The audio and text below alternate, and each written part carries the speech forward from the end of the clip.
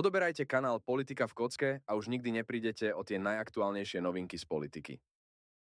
Od dňa, kedy sa spevák skupiny Elán Jožoráš doslova druhýkrát narodil, o dva týždne uplynie štvrtstoročie.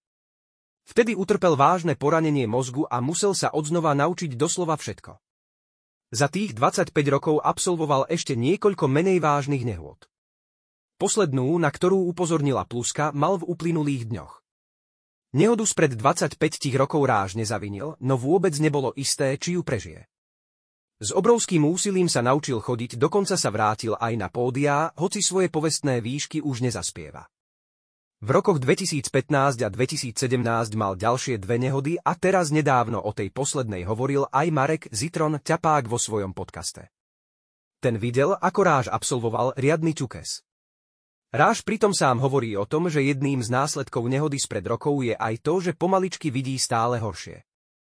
Nezavinená nehoda, ktorá ráža stála veľký kus zdravia, sa stala 20. júna 1999 na nábreží Dunaja v Bratislave. Spôsobil ju nemecký občan a ráž pri nej mal okrem zlomenej nohy, zlomený nos, predkolenie, zápestie a preliačenú lepku. Stabilizovať sa ho podarilo po 9-hodinovej operácii a z kómy sa prebral po dvoch mesiacoch.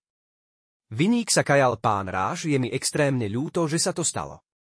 Veľmi, veľmi ľúto.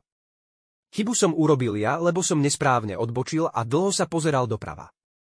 Veľmi ma teší, že ste sa dali dokopy a že ste stále úspešní. Prajem vám všetko dobré, odkázal Viník spevákovi prostredníctvom portálu čes.sk, ktorý ho v roku 2014 vypátral. Minimálna šanca na prežitie, Ráž bol v kóme dva mesiace, no z následkov zranení sa dával dokopy roky. Učil sa chodiť, dokonca aj rozprávať a vôbec nebolo isté, či sa vráti na pódiá. Napriek všetkému viníkovi nehody neželá nič zlé. Už dávno som mu to odpustil. Nech jazdí opatrne, odkázal mu Ráž. Nedobrzdil. V poradí ďalšiu nehodu mal Ráž v roku 2015. Nik sa pri nej nezranil a viníkom bol spevák, nedobrzdil a narazil do auta pred sebou. Dva roky na to havaroval na Mierovej ulici v Bratislave. Nepočul prichádzajúcu sanitku. Tej sa vyhli dve autá, on zabrzdiť nestihol, pripomína Pluska, prominentný svedok, prechádzal som sa uličkami starého mesta a pozerám, že niekto parkuje medzi dve autá. Pozdĺžne chcel zaparkovať. Videl som, že týpek má problém a že si evidentne zle nadbehol a je strašne blízko pri tom zadnom aute a má veľa priestoru pri prednom aute.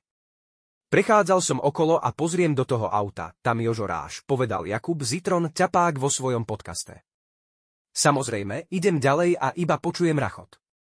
Pozerám na ňo a týpek proste nad hviezdička, hviezdička, hviezdička L do toho auta za sebou. Čukol do auta, vystúpil, zdvihol obočie, mávol rukou a odišiel. Bol som pár metrov od neho a hovorím si apostrof do hviezdička i to fakt apostrof. Je pravda, že som nevidel, či preliačil niečo. Hádam nie je taký chá hviezdička je, že by dodr hviezdička AL auto, ale bol to teda ťuke zriadny, hovorí ďalej ťapák. Prichádza o zrak, už nevidím dobre, takže mi manželka číta knihy. Špionážne romány priznal pred viac ako rokom muzikant. Jeho manželkou je Barbora, dcéra Štefana Nosáľa, ktorého meno je neodmysliteľne spojené s lúčnicou. Že má problémy so zrakom je stará vec, lebo je to dôsledok jeho nehody. Nedie sa žiadna senzácia, žiaden prúser apostrof, je spokojný a má konečne na všetko čas. Na svoje záľuby, na oddych, na všetko povedala vtedy rážová asistentka. Po nehode sa mu veľmi zmenil aj hlas.